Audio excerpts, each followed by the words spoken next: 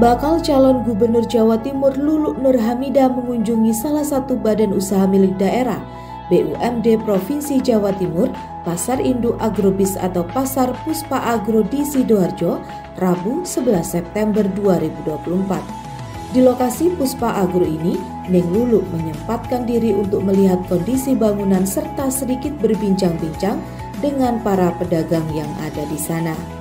Ketua DPP PKB itu prihatin dengan kondisi gedung yang diresmikan 2013 silam jauh dari orientasi awal dibangun sebagai pasar induk yang target awal pembangunannya bertaraf Asia Tenggara kini terbengkalai.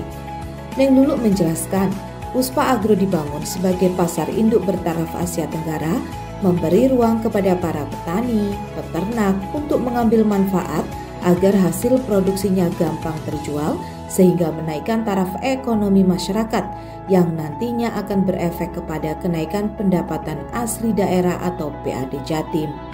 Ning Lulu berjanji akan memberikan perhatian serius terhadap keberadaan Puspa Agro.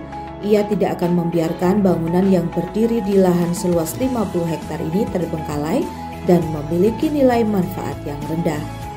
Menurutnya, Puspa Agro bukan hanya sekedar bangunan saja, yang diambil dari APBD Jatim.